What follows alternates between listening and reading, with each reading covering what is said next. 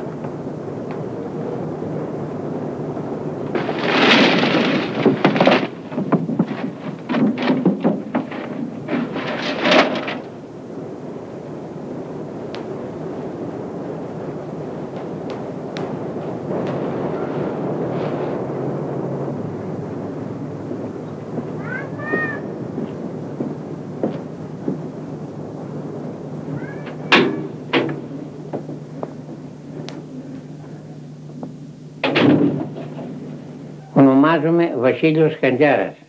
Γυναίκα στην κατούνα του Ξηρομέρου. Είμαι 72 ετών. Είμαι υποδομοτοποιός.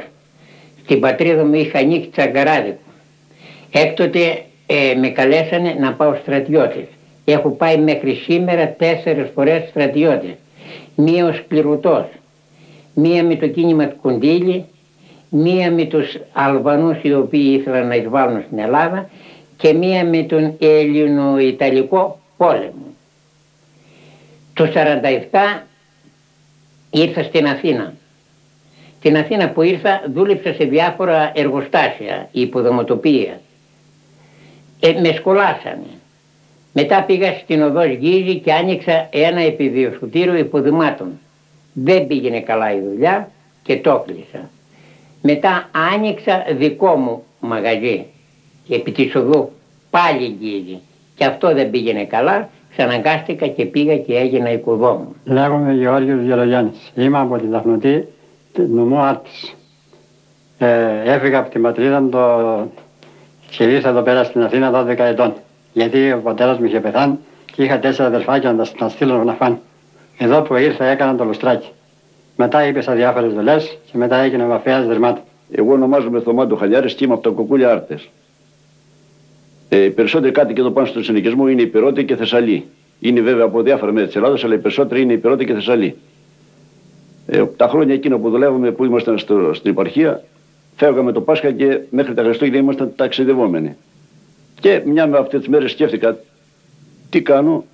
Δουλεύω στην Αθήνα ή στην Πελοπόννησο ή οπουδήποτε και τα Χριστούγεννα πάω στο χωριό. Δηλαδή τα λεφτά που έβγαζα έπρεπε να πάω πάλι στα τζονάκια να τα φάω εκεί πέρα. Και έτσι σκέφτηκα να πάρω την οικογένειά μου και να έρθω στην Αθήνα. Στο χωριό μας, εμείς είναι πολύ τα μέρη μας φτωχά. Δεν έχουμε τίποτα εμείς. Είχαμε ένα σπιτάκι, βρεθήκαν από τους από τους παππούς μας και από τους γιαγιάδες μας. Και πέρα ένα σπιτάκι και είχαμε εκεί πέρα. Μονά, δεν κάναμε τίποτα, ζούσαμε εκεί. Ταξιδεύαν οι άντρες όλο το χρόνο και ερχόταν μόνο 20 μέρες, 15 μέρες το χρόνο στο σπίτι. Μας φέραν αυτά τα λίγα τα λεφτά, δουλεύανε, μας στέλναν τα λεφτά επιταγές, ας πούμε, και τρώει η οικογένεια στο χωριό. Αλλά μετά του σκεφτήκαν οι άντρες, τι να κάθομαστε όλα τα χρόνια και να φλάμε την οικογένεια εκεί. Δεν την παίρναμε μαζί μας. Και έτσι αναγκάστηκα, πήρα την οικογένειά μου και ήρθα εδώ στην Αθήνα. Εγκαταστάθηκα στο Εγάλιο και νίκιασα και σε ένα υπόγειο εκεί κάτω στο Εγάλιο. Ένα ήταν ένα ρηπομένο πράγμα. Έμαθα όμως εδώ κάποιος πουλούσε οικόπεδο πάνω στα τοκουβίνια, κάποιος παπαλιού και έτσι ήρθα, τον βρήκα, συμφώνησα. Πόσο θέλεις, το λέω για να μου δώσεις ένα οικόπεδο, λέει 8.000. Μπράβο, θα το δώσω. Και πράγμα που δεν τα είχα τότε, αναγκάστηκα να ταριστώ από κάτι δικούς μου συγγενεί από, από εκεί και μου κάνει ένα προσύμφωνο. Το 40 πήγα εθελοντή στην Αϊράμινα. Όταν τελείωσα από εκεί, ανέβηκα εδώ στην Κυψέλη να ζήσω και να δουλέψω. Ανέβηκα, με έμαθα ότι εδώ πουλάνε οικόπεδα, πήγα και αγόρασα ένα οικόπεδο Και το 50 μετά ήρθα να χτίσω. Έφαγα τρεις καταδαφίσεις. Κατόρθωσα και έφτιαξα μια παράγκα. Του 1947 έμαθα ότι εδώ πάνω είναι διάφοροι κοπηδούχοι και πουλάνε η κόπηδα. Ήρθα κι εγώ πάνω στον προφητηλία και ήβρα του Χρήστο τον Κουλουριώτη, ήβρα του Σπύρου του Χατζησταύρου, του Χατζησπύρου και του Γιάννη του Ναλεπού και τους Καραγιανέους και έναν Ζαχαράκι. Εγώ αγόρασα από το Χρήστο τον Κουλουριώτη χίλιες πύχες οικόπεδο αντί 6.000 δραχμών. Το έδωσα τα λεπτά και μου έδωσε σε ένα χαρτί από τσιγάρα μια απλή απόδειξη ότι αγόρασα το οικόπεδο. Έκτοτε άρχισα να χτίσω ένα μικρό σπιτάκι. Μου το γκρεμίσανε. Με πάνε 15 μέρες φυλακή. Έκασα μέσα στη φυλακή. Μετά βγήκα και ξαναρχίζω πάλι. Του γκρεμίσανε πάλι. Αυτοί γκρεμίζανε, εγώ έχτιζα τα βράδια. Μας έκαναν αποκλεισμούς, μας έκαναν διάφορους εκβιασμούς. Τότε από μια μεριά είχαμε το δασαρχείο γιατί καταπατήσαμε δημόσιο χώρο. Απ' την άλλη είχαμε τους καραγενέους ή του Παπαλιού γιατί δεν δώσαμε τα υπόλοιπα λεφτά για να πάρουμε τα συμβόλαια. Απ' την άλλη μεριά είχαμε την αστυνομία γιατί χτίσαμε παράνομα. Δηλαδή είχαμε να αντιμετωπίσουμε τρία, τρία θηρία. Εμένα με λένε Αλεξάνδρα. Είμαι η γυναίκα του Θωμά, τον Τουχανιάρη. Έχουμε εδώ 22 χρόνια που ζω εδώ πέρα σε αυτό το σπίτι. Ζούμε τα δύο μου τα παιδιά και με την πεθερά μου και με τον άντρα μου. Ε, έχουμε περάσει πάρα πολλά ε, εδώ σε αυτό το σπίτι. Έχουμε 22 χρόνια και έχουμε περάσει πάρα πολλά. Μου κάνανε και μήνες για μια κατσίκα που είχα και την πλέρωσα την κατσίκα 15 μέρες φυλακή.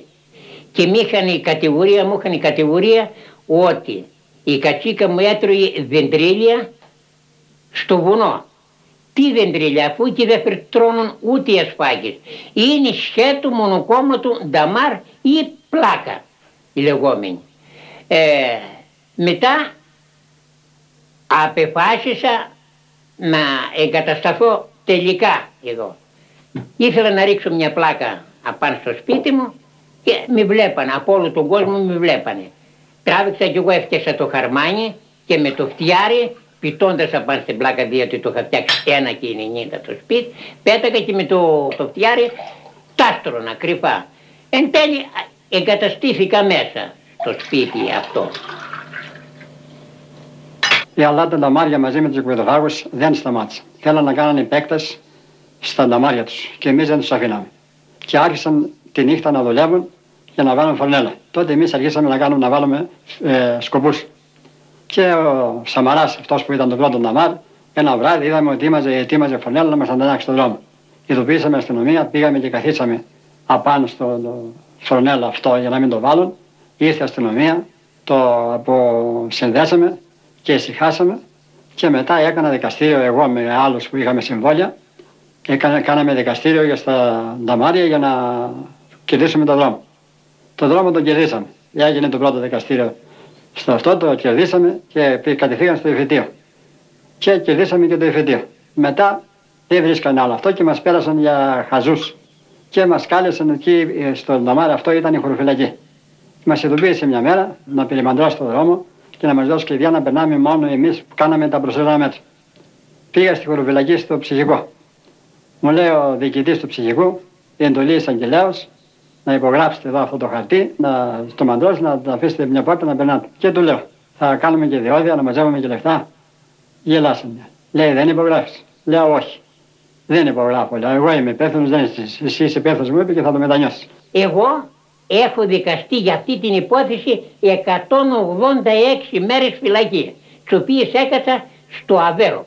Το 1964 μας έγινε ο πιο σκληρός αποκλεισμός. Γιατί αυτοί που πουλούσαν εδώ πάνω μας είχαν κάνει έναν εκβιασμό για να μας αναγκάσουν να πληρώσουμε τα λεφτά. Μας είχαν αποκόψει τους δρόμους με μπάζα και με διάφορα και εμείς αναγκαστήκαμε να κάνουμε τον πορτόγωνο άνθρωπο σαν τζούγλα όπως εσωλιώται το γερό της τουρκοκρατίας. Ανεβαίναμε με τα πόδια από τα βράχια ή από τα μονοπατάκια ή οι γυναίκες με το νερό το έβαλαν κάτω από τα φουστάνια κρυφά γιατί αν σε έπαιρναν η αστυνομία τότε να φέρνεις νερό ή ψωμί στις οικογένειες, στόπνουνε και στο πετούσι. Μετά το 67 που έγινε η Κούντα έβγαλαν απόφαση το ΤΑΜΑ και άρχισαν τότε να μας κυνηγάνε. Έκαναν την αναγκαστική απολυτρίωση και στέλναν πάντα συνέχεια κριτήρες με προθεσμία ένα μήνα, δυο, τρία για να φύγουμε. Αλλά εμείς δεν φεύγαμε γιατί είχαμε αγώνα μεγάλων κάνει να τα φτιάξουμε. Μάλιστα ερχόταν κριτήρες και τους κυνηγάγαμε με το ξύλο. Μια μέρα έβαλε, αφού είδαν πια ότι δεν κάναμε τίποτα, μου βάλαν μπελτόζε μέσα στο οικόπεδο για να μου, κάνουν, να μου χαλάσουν το οικόπεδο για να αναγκαστώ να φύγω. Και μαζευτήκαμε όλοι μαζί και τις κυνηγήσαμε με τα ξύλα. Και μετά, όταν το, το ανέλαβε η μεταπολίτευση, νομίσαμε ότι θα ησυχάσουμε πια, αλλά δυστυχώς το κάνανε αντικονάλθο και αφήσαν την απολυτρίωση όπως είχε.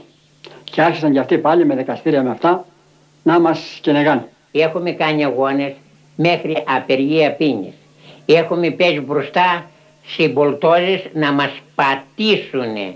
Και πρώτος έπεσα εγώ, διότι εγώ είμαι ο πιο γέρος εδώ πάνω, για τη ζωή μου δεν με μέλει. Ειδικά πρώτα για τη ζωή τη δική μου και μετά για τους άλλους, γιατί τους έχω σαν παιδιά μου εδώ πάνω. Στις 24 Απρίλη του 1967 ήρθε η αστυνομία τότε και μας έκαψε κάπου 80 με 90 σπίτια. Δίχως να σκεφτεί τι θα γίνει αυτός ο κόσμος, έβαλαν φωτιά και μας έκαψαν ό,τι πράγματι είχαμε μέσα, ότι, έστω και τα προσύμφωνα, ό,τι χαρτιά, τα πάντα όλα, χωρίς να σκεφτεί τι θα γίνει ο κόσμος αυτός. Ήταν μεγάλη εβδομάδα το Πάσχα, τη Λαμπρή. Και όπως καθόμασταν εδώ έξω με τα παιδάκια τα μικρά, κοιτάζουμε ανεβαίναν στο βουνό με τα πόδια, δεν ήταν αυτοκίνητα τότε, ανεβαίναν στο βουνό στη φύλακη. Όλοι από 50 στη φύλακη ανεβαίναν πάνω και κοιτάζαμε πού θα πάνε οι άνθρωποι αυτοί. Γιατί έτσι από περιέργεια που με κοιτάζαμε. Και μόλις μπήκαν στα πρώτα σπίτια, αρχίσαν και περιβολούσανε και χτυπάγαν τις πόρτες, μπαίνανε μέσα. Μάλιστα μια κυρία καθάριζε φακή. Και μου λέει πάντα τα γυαλιά, χτύπησε το παράθυρο και πάντα τα γυαλιά όλα μέσα στη φακή. Στο ταψί, τη φακή που καθάριζε να βάλει το φαγητό της γυναίκα. Και πάντα τα γυαλιά όλα μέσα.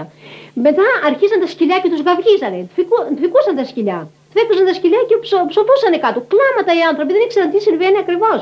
Τα παιδιά κλαίγανε, σφίγγαμε τα παιδιά στην αγκαλιά για να μην τρομοκρατήσουν τα παιδιά. Λοιπόν, αυτοί για να φοβηθούμε καίγανε τις, τη, ε, τα κοτέτσια, τι σκότης, ε, τα ζώα. Έκαναν έτσι πράγματα πούμε, για να τρομοκρατήσει ο κόσμος, φοβηθεί. Κλαίγαμε εμείς και κοιτάζαμε πώς να ησυχάσουμε τα παιδιά. Χτυπάγαν τις πόρτες και μάλιστα με το πιστόλι ρίχνανε και μπαίνανε μέσα, πετρέλαιο μας ζητούσαν. Όποια γυναίκα από το φόβο τσίκη πετρέλαιο μας είχαν μείνει από τι όμπε, δίνανε τον τενεκέ, ρίχνανε μέσα και βάζανε φωτιά κατευθείαν. Ούτε τα πράγματα βγάζαμε έξω, ούτε τίποτα. Δεν μας δεν μας λέγανε, ας πούμε, ότι βγάλετε τα πράγματά σας έξω να το κάψουμε, ξέρω εγώ. Ε, τι πράγματα θα είχαμε κι εμείς είχαμε ένα ράντζο, μια καρέκλα, ένα τραπέζι που λέει ο λόγος. Αλλά μας τα καίγανε και αυτά και μείναμε τελείω έξω έτσι.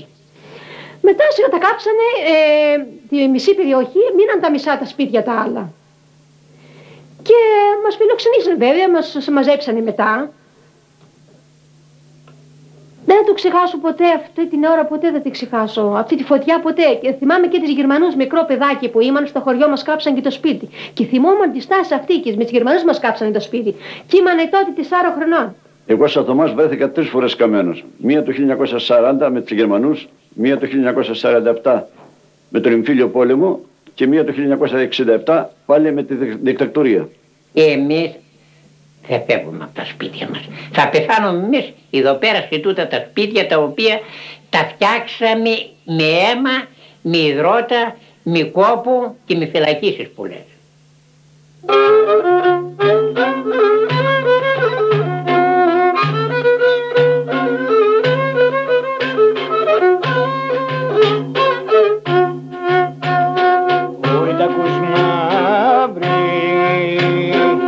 κι αμάν, αμάν τα ακούς μαύρη η δερουλά μου.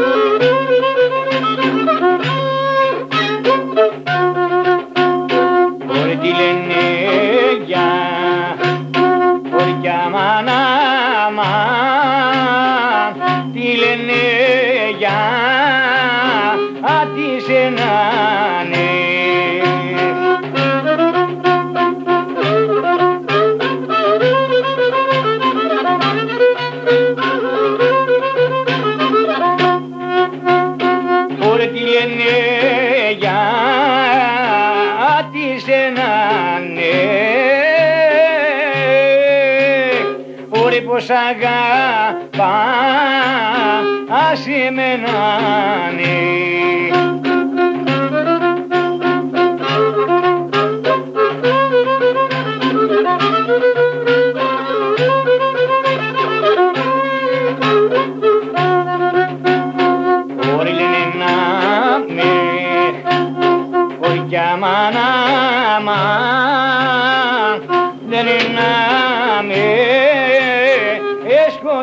να με εσκοτωσούνε